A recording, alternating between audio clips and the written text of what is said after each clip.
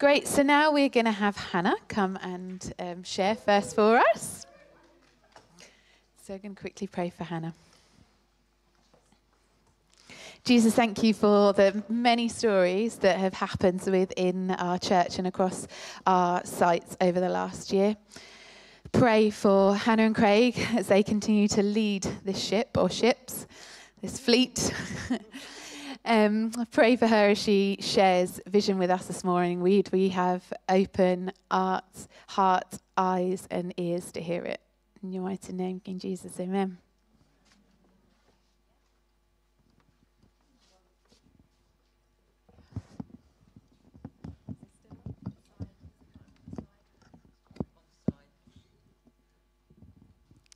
There we go. I'm not on the, the uh, production or technology team, can you tell? well, a huge welcome again. My name's Hannah, I'm married to Craig. Um, and it's my absolute joy this morning um, to, together with Mark, we're going to be sharing some vision uh, for the year ahead. Gateway Vineyard um, is one church in different locations. Together, we are extending God's kingdom everywhere and in every way as the Lord leads. He's called us to be a growing church, a worshiping community of people learning what it means to follow Jesus, passionate about sharing the good news of Jesus and showing God's love and kindness to those around us. And the journey that he's had us on means that we're now not just gathering in one location, but we're meeting in three locations. And over the last 16, 17 years, we've gone from nine people in a living room to 350, 400, whatever it is now, gathering in three locations. And it's been quite the adventure, lots of twists and turns.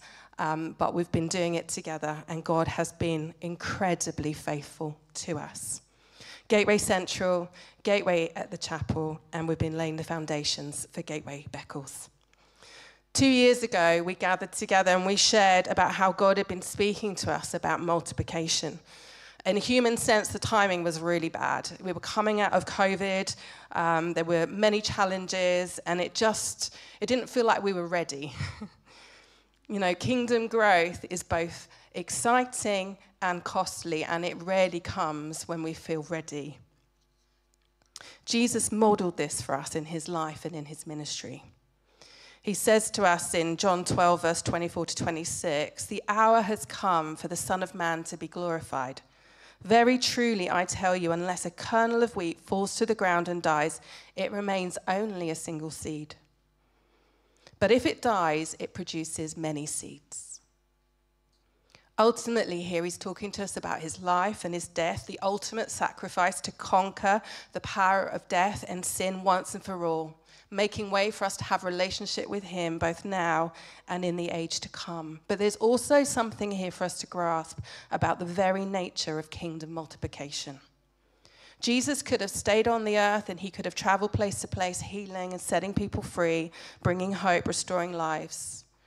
And that's what we read about Matthew, 20, uh, Matthew 9, verse 35. It says, Jesus went through all the towns and villages, teaching in their synagogues, proclaiming the good news of the kingdom, healing every disease. That's what he did.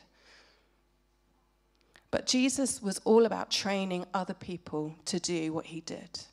His model of kingdom multiplication was never to do it alone, but to train others so that more people could also be involved in participating, extending the kingdom of God together everywhere in every way. And so he trained the 12 disciples, Matthew 10, verse uh, 7 to 8, verse 1. Jesus called the disciples. To him gave them authority to drive out impure spirits and to heal every disease and illness. As you go, proclaim this message the kingdom of heaven has come near. Heal all those who are ill, raise the dead, cleanse those who have leprosy, drive out demons. Freely you've received, freely give. So you can see their instruction do everything that I've taught you to do. Advance the kingdom of God everywhere and every way. All that I've given to you, give away. You get to give. Everything that Jesus has given you, share with others. And the more you give, the more you get. It's the kingdom principle, and it defined the early church. And that's how the kingdom of God advances. So Jesus does it. He trains the 12, releases the 12, and then he sends the 72. Luke 10. Uh, after this, the Lord appointed 72 others, and he sent them two by two ahead of him to every town and place where he was about to go. He told them, The harvest is plentiful, but the workers are few. Ask the Lord of the harvest, therefore, to send out workers into the harvest field. Heal those who are ill and tell them, The kingdom of God has come near to you.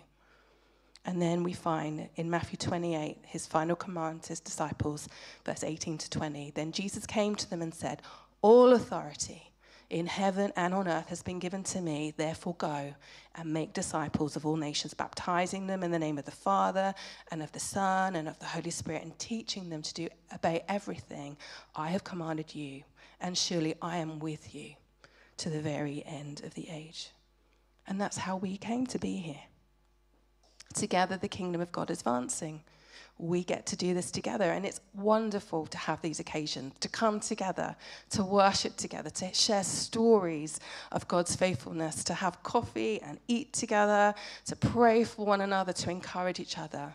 But then we're sent we go back to our locations uh, where, we, where we are based in our local sites. We go back to our homes. We go back to our workplaces. We go back to the social spaces, all the places that God has placed us and called us to be. We are a family on mission. We are a sent people. Extending God's kingdom together everywhere and every way as the Lord leads. We could have said no. we could have said no to this journey. We could have said, we like Mark and Katie and some of the guys that were at Central that went across with them to help plant and start that new site. We really like the guys in Beccles. We'd much prefer it if they were just here with us every week. It's so much nicer to be in the room together and to see their lovely faces. It's more comfortable, um, and no thank you. But then we would have missed out on this great adventure of multiplication we would have missed out on the joy of seeing so many more people um, finding a place to belong and to be, to find community. We would have missed the adventure of faith and of stretch and of stepping into what God wants us to do. We would have missed the adventure of seeing more people coming to Alpha and coming into that space to find out more about who Jesus is. We would have missed the adventure of actually more people having opportunities to step up and use their gifts and get involved. We would have missed so much if we had said, no, we're quite happy as we are, thank you very much. The adventure that we are on is one of saying yes to Jesus, getting out of the boat, trusting in Him, even when sometimes it doesn't make sense, so that our yes can be multiplied and so much more can happen because of who He is rather than who we are. It's an adventure of kingdom multiplication. It costs us something, but it's so much more exciting to see what God can do when we say yes than just stay as we are. And so this morning we're going to share some vision and some priorities uh, for the year ahead. It's not everything that we're doing. Um, we have, there's so much going on, and so if we don't mention something, it's not that that isn't also important. There's just a few things that we want to share that we feel that we want to lean into in the coming year.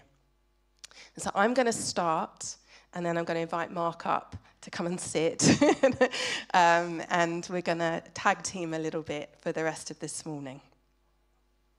So I'm going to start, and I'm going to start by just talking about our priority to continue raising the next generation.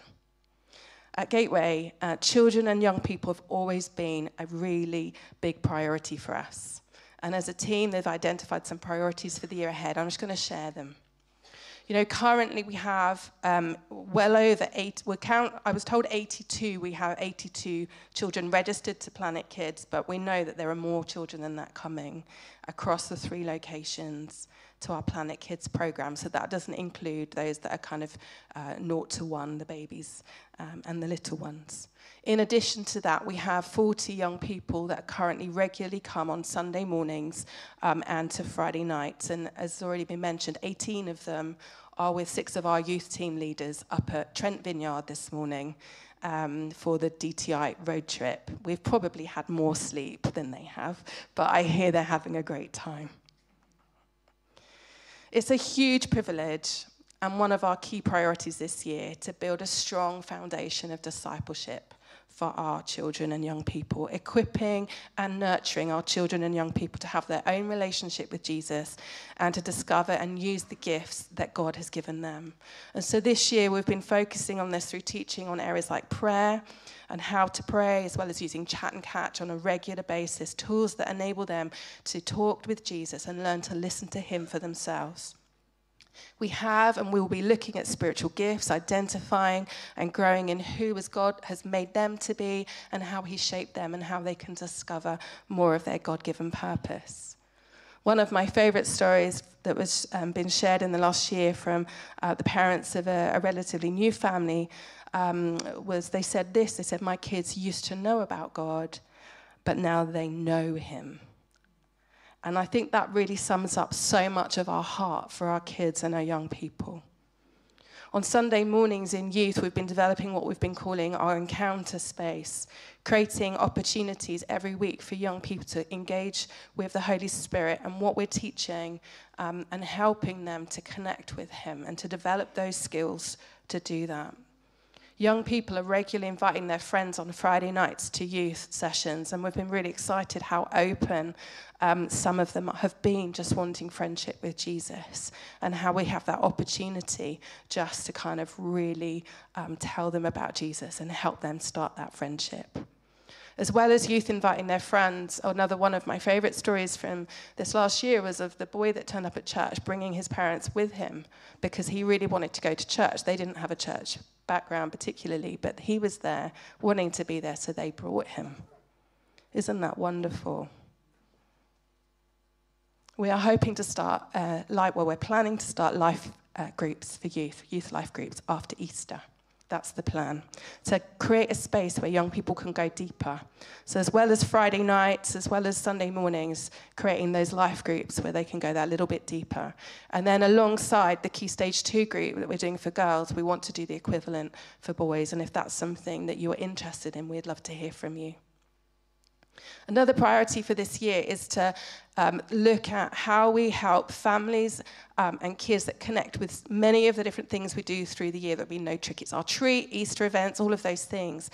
Pathways and ways that they can then engage in other things that we're doing as a church, um, whether it be in Beccles, at the chapel, or here. So there's clear pathways for children and families to come into church family. And we want to continue to support parents in raising their kids with faith. Last year, a priority for us with 0 to 18s this year is to develop the team uh, that supports children and young people with additional needs. The Supernovas team makes a massive difference to individual children and families. And if you would like to find out more, we'd love to tell you more about the ways that you can support our kids and our youth ministry. But particularly, um, if you're interested in Supernovas, then we would love to give you more information about that. Mark.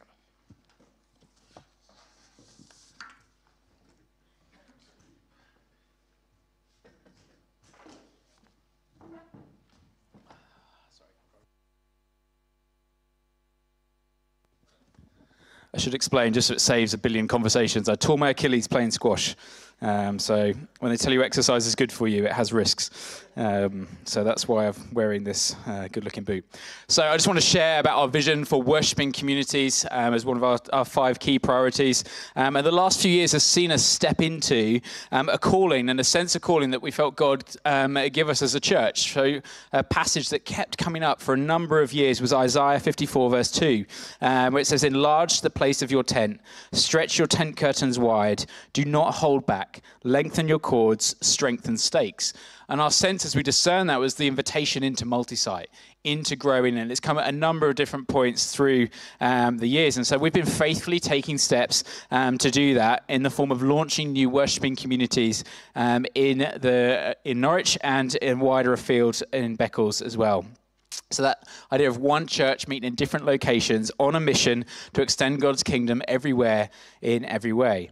And so the chapel site, hopefully there's a slide with um, some photos to give you context if you've not uh, managed to make it along. We're about 18 months in to the journey since Katie and I were commissioned um, to launch the chapel site with a, a small team here from Central um, who committed to relocate um, to the chapel kind of every week and obediently follow God's call um, to take on the church community um, that was handed over to us there. And it's been, we've been blown away by what God did in the lead up to that and what He's done since um, in seeing that. We're well underway in the transition process that we um, had talked about. Seeing God at work um, strengthen people's faith, um, and for the first time, people coming to faith, um, others growing in their discipleship journeys, um, gifts being discovered and activated and put to use, connections with the local community growing through care homes, schools, our neighbours. and we want to bless that locality and beyond and build on the legacy of what we inherited the physical location of the chapel has also created so many opportunities for the wider church um, to gather for training, equipping, prayer, worship, groups for all ages. And this has been such a blessing to strengthen and bless the whole of Gateway Vineyard Church. And this year, we're praying to see and know more of God in our worship, in our discipleship, and a sense of community across all ages and stages of life. And for that to overflow into our local community that we're planted in um, in the north of Norwich in Beccles. It's been great to see what God's doing with that community um, and in the Beccles and Waveney area. And we've seen momentum building as the focus has been to strengthen the foundations for what God is going to build. So there's been a real focus on gathering a core group of people who are committed to the vision and the call that God has on the area and committing to pray um, for that area. It's really the engine room of what's going on um, at Beccles um, from there. But there's also been an intentional push forward to do more publicly in the Beccles and Waveney area and establishing a pattern of gathering on Sundays throughout the month in different creative ways. So, one Sunday a month, the community gathers um, at Worlingham Primary School to welcome people to join together, um, have coffee, they stream in the worship and the teaching here from Central, have a Planet Kids ministry, and a chance to pray and respond in ministry together. Another Sunday each month, people are encouraged to make the journey into Norwich and come along here to Central Site. On another Sunday in the month, they gather in the evening for their encounter nights with creative worship um, and prayer. And then they're tr- starting to try new creative things um, to gather um, together. I saw recently they were gathering in Costa on a Sunday morning um, in public spaces. That's great. And there's real creativity um, growing um, there. But there's also been opportunities to invite the local community in that area to come and get to know um, the people through things like No Trick and Christmas, and there's an Easter event um, coming up too. And so it's just great to see what God is doing in that area. But the specific prayer and where you can join um, the team who are part of Beccles, is that this year they're praying for 20 new people um, to commit to joining that community and specifically praying for a worship leader um, to, to come and to join in that community to help um, do all that God is wanting to do in that area for the next steps um, of what He's building there. And so we come to Central. Um, it's been home for many of us um, for a, a, number of years. And it's a moment to reflect, to celebrate, and to give thanks for all that God's been doing across the whole life of the church to celebrate sending a team of us um, to launch the chapel, supporting Beccles um, over the next over the last year and going forward as they take their next steps. It's a time to welcome new faces, um, to continue strengthening and to rebuilding after all the disruption that we've been through um, with COVID and other things um, since. And I love coming back here when I'm speaking and meeting new people um, who've been around for a while, just didn't know them. Um, and it's a joy um, to see new faces and people taking their place and getting involved in different ways. The truth is, we anticipated some of the costs of launching these new sites. Some of them were obvious, um, but some of them have been were less obvious. We didn't anticipate them quite so much, and there is a cost of growing, of multiplying, of stepping into becoming a multi-site church releasing people to go and to take leadership roles in those spaces. Um, and some of that can be a discomfort. And we know for a number of you, you felt that. You've not seen some of your, your friends and your people in the way that you were used to and familiar with. Maybe things changed and you weren't sure about those changes initially um, because you quite liked how it was um, before. That's, that's totally normal. Any change is um, challenging. And it can be challenging to stay while others go and do something new. There's excitement in the doing the something new, but but staying in in the place um, where things stay pretty similar um, can be um, a challenge as well from there. But I want you to be encouraged um, here at Central Site that actually what you've done in releasing people and supporting um, these other worshiping communities is part of um, a blessing for you guys too. That you're part of something beyond what you can see on a Sunday morning, and it's incredible. We can't share all the stories, but there's a mul- the multiplication is happening. What we read in Scripture is happening in practice, um, and that's something to um, to celebrate. And so this has been a season of strengthening here at Central and really asking the question like, what is next in the adventure? That's a pretty exciting question to ask. And as Hannah said, this started 16, 17 years ago with nine people in a living room. And look at what the Lord has been doing just faithfully, step by step. You'd never have imagined it um, if you could. And one of the, as I was preparing, the verse that came to mind was Ephesians 3 20 and 21. Now to him who is able to do immeasurably more than all we ask or imagine, according to his power, not ours, that's a work within us, to him be the glory in the church and in Christ Jesus throughout all generations, forever and ever. Amen. That's our prayer for what's going on here at Gateway that the glory is God's, the power is through Him, and that He will do immeasurably more than we can ask or imagine. So I'm excited for this next year, seeing what God is going to do in and through this community as we continue to step into the vision to extend God's kingdom everywhere in every way together. Over to you, Hannah. I'm just going to talk about making disciples. Every single one of you, from the youngest to the oldest, is completely uniquely made by God with his divine fingerprints all over your life. Unique personalities, unique gifts, unique passions, uniquely made to reflect Jesus. It says in Ephesians 2, verse 10 For we are God's handiwork, created in Christ Jesus to do good works, which God prepared in advance for us to do.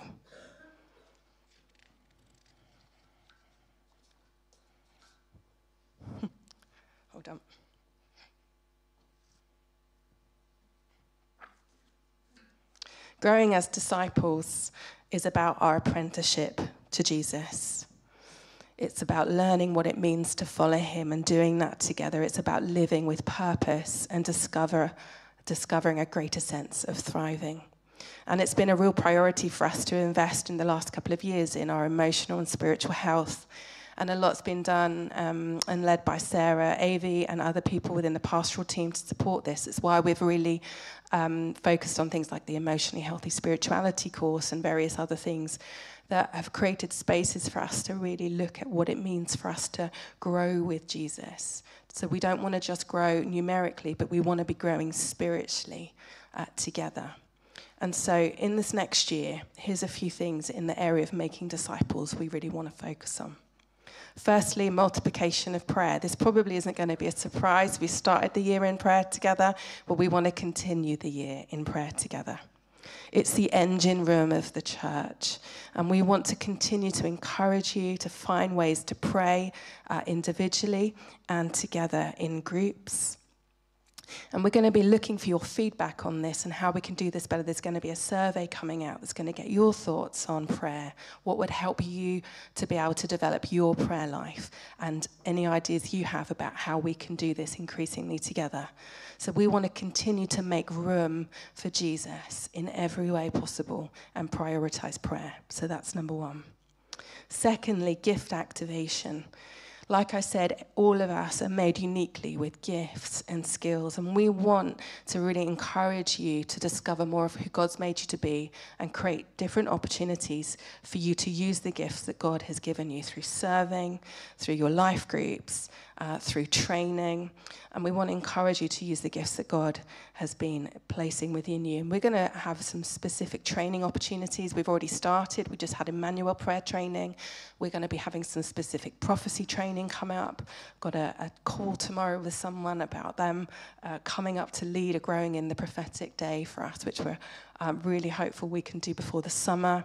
There's other things that are planned, things that we hope will encourage you in the gifts that you have. We're doing it with our kids and, and young people as well. The third thing is pastoral team development and equipping. And so there is a, a, team of people that support the leaders of the church around this whole area of emotional and spiritual health. And they're planning some courses like Freedom in Christ and things that um, will really help lead um, us deeper into places of freedom and healing and wholeness, which we believe God wants for every single one of us. Last Easter, um, many of us um, went uh, in April, just after Easter, to the Vineyard Leaders Gathering. Um, one of our leaders, Naomi, came with us, um, and I don't. I'm just going to share a little bit of her story. I'm not going to go into loads of it, but with her permission. So, Naomi, for as long as she can remember, has had nightmares. Um, so she can't remember a time when she didn't have them. And when I say nightmares, between one and five a night. Um, between 2020 and April 2023, she can only remember one night when she didn't have a nightmare. And they go back to when she was very little. She thinks probably four. She'd been to Papworth, sleep trials, various types of therapy, all kinds of medication, and nothing had changed that for her and stopped it. Until the leaders' gathering last year in April, when she came, she received prayer and received some healing and some freedom. And since that time last year, she's not had one nightmare ever since. It's, it's been the most wonderful, wonderful journey of freedom and healing. But it didn't stop there. So Naomi started telling her story, and other people started saying, Well, actually, I know somebody who needs some healing or freedom. And some of us were like, Well, I think maybe, Naomi, you could pray for us, for this, for that. And so it started a chain reaction of people seeking prayer and other people getting healed and free. And you know, when you start to think, The Lord's doing something here, I think He's doing something here. So at that time, Vineyard released one of their theology modules on healing and deliverance, and we were like, oh, I think we should do that. Well, 13 of us decided we would do that module together, and we started off um, meeting on Zoom to discuss it, and it was just impossible. We had to get in the room together. And again, God just started to bring healing and freedom. And we've just been on this journey of seeing Him doing more and more and more and more. And so, one of our priorities for this year is to really be um, wanting to see God do all the healing and all the freedom in our church community that He wants to bring, and to be as skilled and equipped to do it with Him as we possibly can. So that's a priority for this year. The fourth thing is life group multiplication. We are a church of smaller groups. We are a site, we are sites with smaller groups within them. We serve on teams, but primarily the place of community is in our life groups. That's a place of belonging where we can really get to know each other. It's a place where we can build relationships, we can um, have a go with gifts and leading and various things. And the, in short, what we want to do is launch more groups. We want to launch more groups that will be um, good environments for training people and for raising leaders and for fostering community. So there's four things in the whole area of making disciples that we really want to focus on this year. Amazing.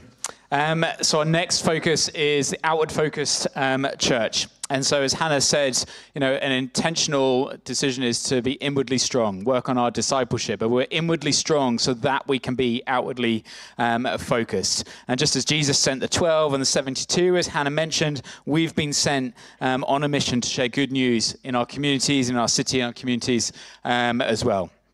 So, different ways that we do this. Again, we can't touch on all of them, um, but just a couple of highlights. So, Alpha is a course where people can explore um, Christianity, and we've been growing and increasing the frequency and the number of Alpha groups um, that we've run as a church from historically sort of once a year, um, sort of on an ad hoc kind of basis, but we're now running regularly. Um, we're running consecutively in terms and running simultaneous groups at the same time in different locations. So, the minute um, we're running two groups, Beccles are about to start, and Alpha as well which is really exciting. Um, we normally try and gather together for our Holy Spirit days um, together, but it's been wonderful to see guests come on, come to faith, now wanting to be baptized, but also inviting other friends to come too. Our current cohort, um, there's people buzzing. They're like, I'm loving this, and I've got another couple of friends that I want to invite to the next one um, that's coming. So as we build that, that rhythm, as more and more of the church have been through Alpha, have brought a guest on Alpha, then we see the a growth in the in the invitation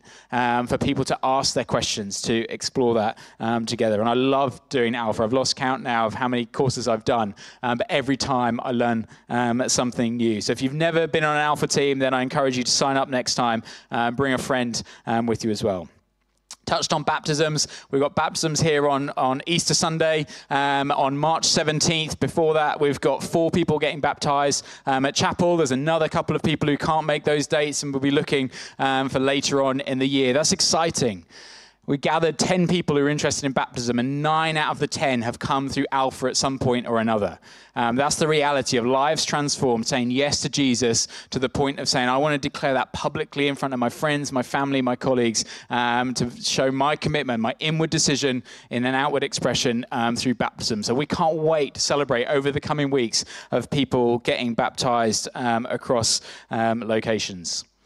Another way we've been stepping out into um, outward focused ministry is through some of the roles that we've been able to appoint as part of our church um, staff team. Much of that has been funded through grants and through some of your um, generous giving as well. So, um, Sarah Housen is employed as our older people's worker. Um, we co partner with another charity in funding that role, and she's um, leading a team of volunteers that are serving the older people in our city, trying to reach out, share the gospel, break down isolation, bring people together um, and equip them um, as well. And so she's doing that through individual visiting, um, through running groups, and through linking with care homes um, and serving in those places and bringing life and light into places that can be quite dark and feel quite lonely and isolated. Another area is Grow Kids, a ministry that we've been running for a number of years, um, and it got to the point where we knew we needed to invest in some um, some time um, for people to be able to commit to that. And so we're thrilled at your generosity and partnering with a charity that gave us a grant to be able to employ Manuela, who's taken on the coordinator role from Kate, um, and Joe, who's doing some of the admin um, for Grow Kids, um, with a view of growing, of multiplying. And so we've got plans of launching a Grow Baby for 0 to 5s at the chapel this year, increasing capacity um, at our trial space um, as well, looking to serve families practically, but also spiritually and emotionally. Um, and if you've not been along to Grow Kids or you don't know much about it, find out from the team. Um, there's loads of different ways you can serve, from washing clothes to sorting out donations um, to serving families on their sessions as well. So do get involved and find out how you can pray, how you can get involved in joining the team and donating as well. Check out their social media for more info. Another way we're doing that is through Hope into Action. It's another charity that we partner with. Um, and uh, Danny, who's part of the church, um, is our link and works for them as well. And so we've had a house with Hope into Action for years. It supports people who have experienced homelessness um, or may have come out of prison or different challenges. They come into the house for a number of years. And as a church, we partner to bring friendship and support, practically, emotionally, um, to walk alongside people into independence and independent living. Um, so we're thrilled that this year we're going to be expanding to have a second house that we're supporting that's going to be focused on families um, as well as the house for, um, for single men. And that's just such a gift to be able to journey with um, these people um, through a challenging time of life um, and a practical way that we as a church um, can do that. So, again, if you want to know more about that, Danny's right at the back. and uh, she's waving now, but none of you can see it. But just ask someone to point out Danny. She can chat to you about the ways that you could be involved practically um, or through mentoring and supporting. I also want to mention our mission partners Stu, Abby, Chip, and Jono in Southeast Asia, Joy in Kenya. They're a part of our church family. They're outward focused. Um, they are out there in another continent, two other continents, um, sharing the good news of Jesus. But they're part of our community. We get to be part of that, and we support them, um, whether financially. A number of you um, give to, to help them and support them um, in their living costs over there, but also through prayer. Um, there's a real commitment to be praying for them, and they value your encouragement. the notes that get sent to them, the emails, and the checking in on them as well. And so we get to partner in something that's happening far beyond our shores, um, but is bringing life um, to um, all sorts of people um, out there. So that's an amazing um, way. Said there's loads of other ministries. There's polos there's sanctuary there's cameo there's kids and babies matter um, cap money. All these things are bringing life. The outward focus serving our city serving our community um, and the most exciting thing however i think is individual stories of you stepping out in faith you putting your faith in action acts of generosity, acts of kindness, words of encouragement, uh, where people are being bold and sharing their faith at work. They, for me, are the most exciting because what Jesus didn't call us to do is set up um, national kind of government organizations or anything to go out into the world. For some people, that's what you're called to. But what he actually asked us to do is said, Go, each and every one of you, go into all of the earth tell the good news, make disciples, baptize them in the name of the Father, the Son, the Holy Spirit. And so each of us is on mission. And when each of us takes our part in that and activates that, the whole of our city can be transformed. This isn't about one or two people leading a particular ministry. This is about the entire church body. And so I can't wait to see what else um, starts to happen in 2024 um, in our outward focus mission um, from there. And lastly, le- launching leaders. A healthy growing church has healthy growing leaders. Leadership at Gateway is, at Gateway is, as we see in the model of Jesus, it's primarily about serving other people. And we need leaders in every area of church life kids, youth, worship, trustees, life group leaders, and so on. And there's going to be leadership development opportunities this year, this year but it all starts with saying yes more often than not, our leadership journey always involves just getting stuck in and serving somewhere. Leadership comes in different shapes and sizes. For some of us, it might be a small group of people. For others, it might be a particular area of ministry, and we want you to be able to explore that. I'm going to invite Jody just to come. Um, we're going to be landing this really soon. Um, there was always a risk this morning that uh, we would be running over slightly, so I do apologise. And the kids are very happy and safe and having lots of fun. Jody, why don't you just start by um, sharing why do you think Leadership Essentials, which we run here at Gateway, uh, both in Central and over at Beccles, why is Leadership Essentials so good for leadership development? Okay, um, so for me, leadership is all around, all about us influencing others. And so for many of you, you may feel like well, I'm not a natural leader. But I strongly feel like for many of us, actually, we, we can influence the people that we're with on an everyday basis. And so, um, Leadership Essentials is a great place where once a month we meet and we will talk about um, various things. We have teaching around communication, teamwork, building teams, having difficult conversations. Um, but the key is that we're doing it through the lens of Jesus and a Christian perspective. So if you're leading within a workplace or leading in a church setting or a, don't feel like you're actually leading yet, it's a really great place to just build some skills and see how Jesus, in his servant leadership, um, is our role model, and we can apply that wherever we are. So we currently have five people doing Vineyard Leadership College, which is a commitment to doing a day a week. Uh, once a month, the group from Gateway go up to Trent and take part with a wider group, and there's also retreats and training uh, during the uh, year. And so I just want to ask you, Jodie, what difference has doing Leadership College made? I could get really emotional about this. Um, it, it was, um, it kind of landed on me, and God really pointed me in the direction of doing Leadership College, and and the process itself was God was really at work, um, and I had an expectation that Leadership College would be about um, teaching me lots of stuff, which I have, you know, I've learned in a in a context, a work context before. Um, but actually, it's far deeper, like really deep.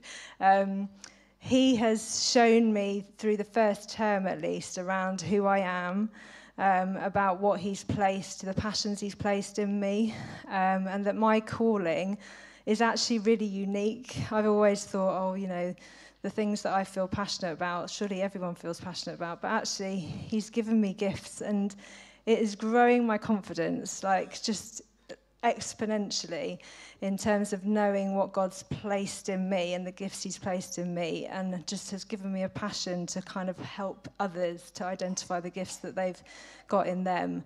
Um, to just build his kingdom and share it with others. It has been absolutely life changing, and I would recommend it um, to anyone. I really would.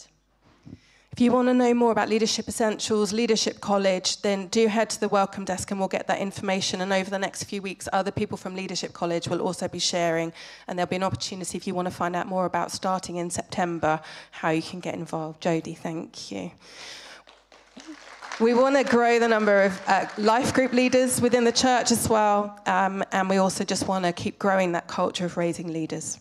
So, how can we respond this morning? Mark's already mentioned Isaiah 54 enlarge the place of your tent, stretch wide, uh, stretch your tent curtains wide, do not hold back, lengthen your cords, strengthen your stakes. Well, we have stretched wide, and now we feel that the time has come to strengthen and to focus on strengthening the stakes.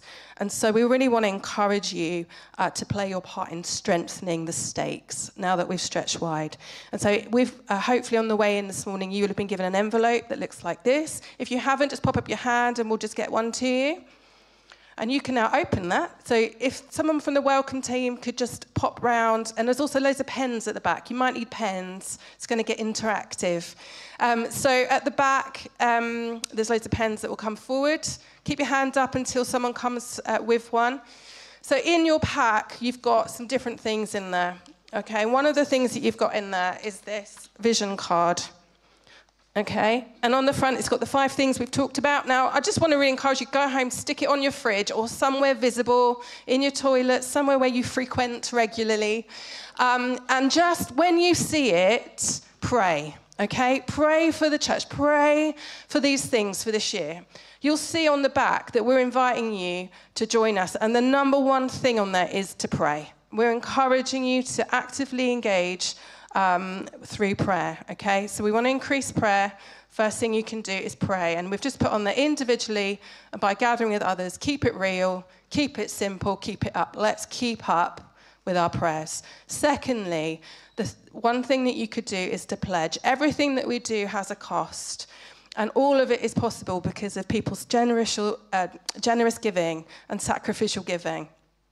At this particular moment, everything that comes into the church financially is going out. And so we would really like to increase the resources that we have available in order that we can do more of the things that we're talking about in this next year. And we're currently preparing for the new financial year start in April. And I'll be working with Alan um, and the trustee team and to look and see what can we do. And so we just want to encourage you to consider if, if this is your church family and you're not currently giving, would you pray and consider doing that? Or maybe you have been giving, but you haven't thought about reviewing it for some time. Maybe this would be a moment that you could do that. It might be that you're in a position that you want to give a, a one off gift. All of your giving makes a massive difference. It doesn't matter on the amount. This is about what we can all bring to this to strengthen, and it will really make a difference to this upcoming year. And so, in your envelope, there's a pledge form um, where you can pledge to give or to start giving. And then the third thing is to participate, to get involved, to take your place. And you'll find a lovely join a team, come make a difference card in there. Now, some of you are on a team in your local site and you love the team you're part of, um, and you don't want to you know, join a new team, and that's completely fine. Others of us, maybe we want to find out about a new team or we're not currently involved, and you could use your gifts uh, to come and encourage and build the church up in a particular area. And so you've got one of these in there. Now, in a moment, we're going to pass um, some uh, buckets round. Um, and there's one more thing in your envelope, and that's a contact card. Now, some of you have moved home and you haven't told us. Um, some of you have never like given us your contact details and stuff. And if you would like to do that today, you can update details. You can also say, I'm interested in alpha, which Mark was talking about. You could say, I'm interested in finding out more about dot, dot, dot. That's all on the contact card in here. And as we pass these buckets around, you can stick in your contact cards, you can put in team cards, you can put in pledge cards. Some of us need to go away and pray and talk and think about how we respond. Some of us have been thinking about this for a while, and this is a moment to respond. And you could fill this out now. You could fill out the pledge card, you could fill out the team card, you could fill out your contact card, whatever it is and you can stick it in the bucket as it comes around. Now, in the interest of recycling, if you have a team and you're on a team and you love your team and you don't need the team card, can you stick that in there as well? Because we will gather them up and reuse them. So, in a few moments, we're going to pass the buckets around. The worship team are going to come back. But I'm just going to end by saying one thing. one other thing. Um, we are really expectant for what God wants to do on this next leg of our adventure. And we would love you to find a place uh, within it and do it with us. In the feeding of the 5,000, the boy brings his packed lunch, he brings his loaves and his fish, and he puts it into Jesus' hands. And it was all he had.